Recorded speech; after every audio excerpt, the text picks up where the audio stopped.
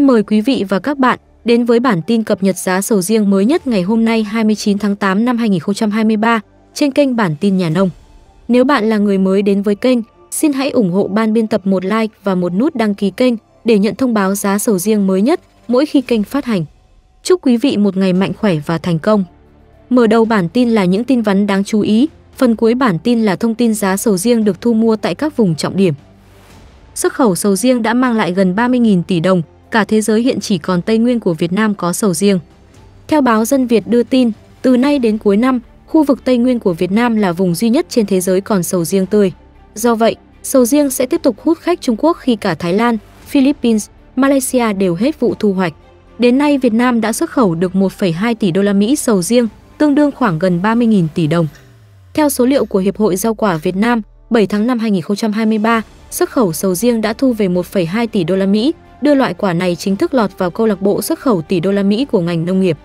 Xuất khẩu sầu riêng cũng đã đóng góp đáng kể vào sự tăng trưởng chung của xuất khẩu rau quả. Thống kê của Tổng cục Hải quan cho thấy, xuất khẩu hàng rau quả của Việt Nam trong tháng 7 năm 2023 đạt 404,5 triệu đô la Mỹ, giảm 38,9% so với tháng 6 năm 2023, nhưng tăng 63,6% so với tháng 7 năm 2022.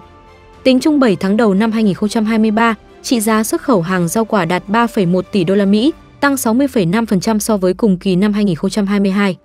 Dẫn đầu về trị giá xuất khẩu rau quả Việt Nam là thị trường Trung Quốc, đạt 2 tỷ đô la Mỹ, tăng 128,5% so với cùng kỳ năm 2022. Xuất khẩu hàng rau quả sang thị trường Trung Quốc tăng trưởng cao, góp phần thúc đẩy ngành hàng rau quả tăng trưởng khả quan trong năm 2023. Bởi trị giá xuất khẩu sang thị trường này chiếm 64,7% tổng trị giá xuất khẩu hàng rau quả. Tiếp theo là xuất khẩu tới thị trường Mỹ đạt 140,5 triệu đô la Mỹ, giảm 11,2% so với cùng kỳ năm 2022. Hàn Quốc đạt 125,1 triệu đô la Mỹ, tăng 13%, Nhật Bản đạt 105,6 triệu đô la Mỹ, tăng 5,5%. Trong bối cảnh Thái Lan, Philippines, Malaysia đều đã hết vụ thu hoạch sầu riêng, thì khu vực Tây Nguyên của Việt Nam mới chính thức bước vào vụ sầu riêng. Theo đó, sầu riêng ở khu vực Tây Nguyên có thể thu hoạch từ tháng 8 đến tháng 11, là vùng duy nhất trên thế giới còn sầu riêng để bán từ nay đến cuối năm.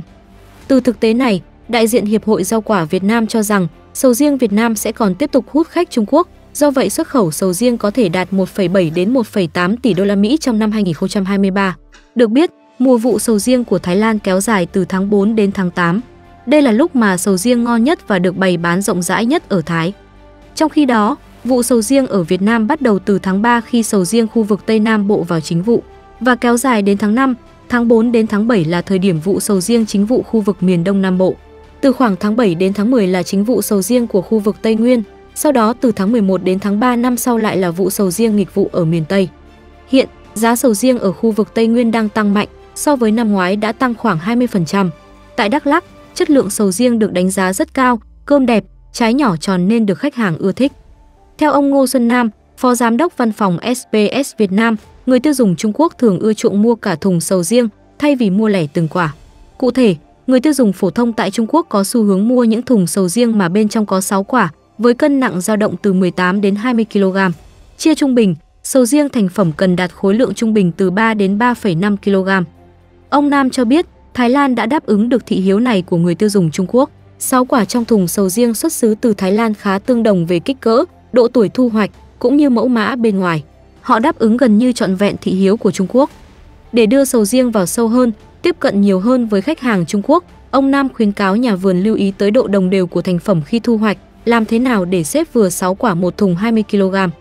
Ông Ngô Xuân Nam cũng khuyến cáo nhà vườn về cách thức thu hoạch sầu riêng, bởi theo ông Nam, nếu không may phần gai bị dập, lớp biểu bì của sầu riêng bị phá vỡ, dẫn tới hơi ẩm, vi sinh vật có thể xâm nhập vào. Khi đó, nhẹ thì sẽ dẫn đến mất hương vị tươi ngon của sầu riêng, nặng hơn thì có thể gây thối và làm hỏng quả nếu để lâu. Là loại quả nhạy cảm với thời tiết, sầu riêng còn có thể bị sượng cơm nếu gặp mưa.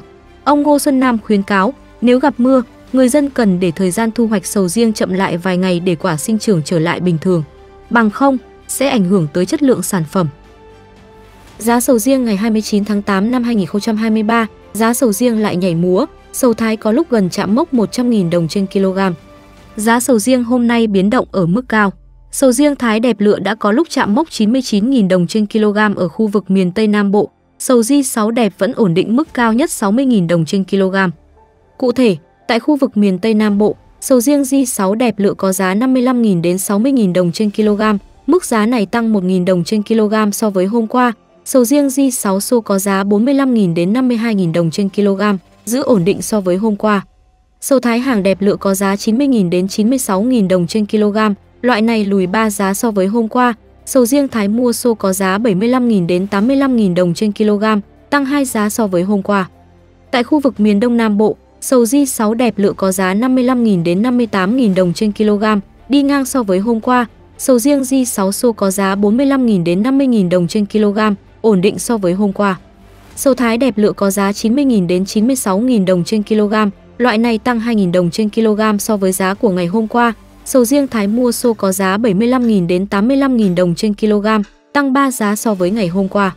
Giá sầu riêng hôm nay, tại khu vực Tây Nguyên, sầu di 6 đẹp lựa có giá 55.000 đến 58.000 đồng trên kg, không thay đổi so với hôm qua. Sầu riêng di 6 xô có giá 45.000 đến 50.000 đồng trên kg, giữ nguyên so với giá của ngày hôm qua. Sầu thái đẹp lựa có giá 90.000 đến 96.000 đồng trên kg, mức giá này tăng 2.000 đồng trên kg so với giá của ngày hôm qua. Sầu riêng thái mua xô có giá 75.000 đến 85.000 đồng trên kg, tăng 3 giá so với hôm qua. Thời gian gần đây, Cục Bảo vệ Thực vật Bộ Nông nghiệp Phát triển Nông thôn liên tục nhận được thông báo của nước nhập khẩu liên quan việc không tuân thủ các yêu cầu về kiểm dịch thực vật, nhất là gian lận mã số vùng trồng. Các loại nông sản bị cảnh báo nhiều như chuối, xoài, sầu riêng, mít, thanh long, nhãn, xuất khẩu sang thị trường Trung Quốc, sầu riêng, chôm chôm, ớt có dư lượng hóa chất vượt quá quy định khi xuất khẩu vào thị trường Đức, Pháp, Tây Ban Nha, Hàn Quốc. Đối với các vi phạm về mã số vùng trồng và cơ sở đóng gói, Bộ Nông nghiệp Phát triển Nông thôn đề nghị các địa phương kiểm tra việc cấp, quản lý và sử dụng mã số. Nếu các lô hàng hóa mà cơ quan kiểm dịch thực vật phát hiện vi phạm sẽ yêu cầu tái xuất về nội địa, không cho phép xuất khẩu. Khi nào điều tra, xác định nguyên nhân, tìm biện pháp khắc phục và đã đàm phán được các yêu cầu kiểm dịch thực vật cũng như an toàn thực phẩm với nước nhập khẩu mới được tiếp tục khai thác, xuất khẩu trở lại. Hiệp hội Rau quả Việt Nam cho biết, sầu riêng hiện vẫn đang được xuất khẩu mạnh sang Trung Quốc nên giá sầu riêng tăng rất cao. Nếu giữ được nhịp độ tăng trưởng như hiện tại, kim ngạch xuất khẩu rau quả có thể thiết lập kỷ lục 5 tỷ đô la Mỹ. Trong đó, sầu riêng đóng vai trò quan trọng và dự kiến đóng góp khoảng 30 đến 35% tổng kim ngạch xuất khẩu. Tính đến giữa tháng 8, xuất khẩu sầu riêng ước đạt 1,2 tỷ đô la Mỹ, gấp hàng chục lần so với cùng kỳ năm 2022. Dự kiến sầu riêng sẽ tiếp tục hút khách Trung Quốc khi cả Thái Lan, Philippines, Malaysia đều hết vụ thu hoạch, Việt Nam còn khu vực Tây Nguyên có thể thu hoạch từ tháng 8 đến tháng 11. Từ nay đến cuối năm, khu vực Tây Nguyên của nước ta là vùng duy nhất trên thế giới còn sầu riêng tươi.